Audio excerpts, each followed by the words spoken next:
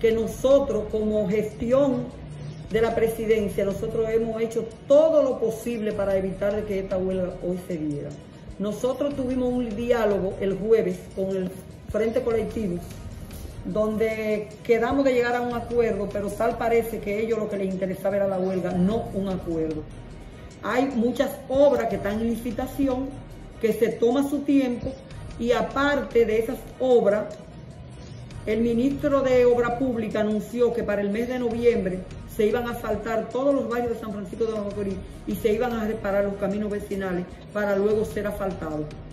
Es decir, de tantas cosas que nuestro presidente ha hecho en su gestión en un año y cuatro meses, creo que no es justo que se haga una huelga en medio de una pandemia, en medio de las fiestas navideñas que ya estamos encima, donde se necesita que los familiares que vienen aquí al país vengan a disfrutar sus vacaciones con tranquilidad. Bueno, lo primero es que el pueblo no quería huelga.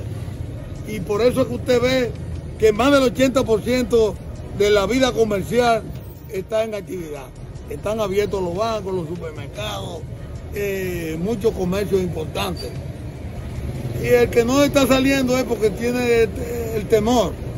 Pero es una huelga insensata porque el compromiso que nuestro gobierno ha hecho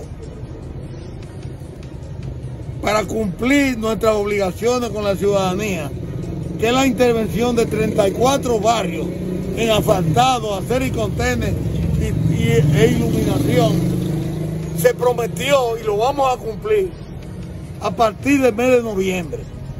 Y el mes de noviembre eso indica que podemos arrancar el 28, el 29, el 30, porque el mes no ha concluido.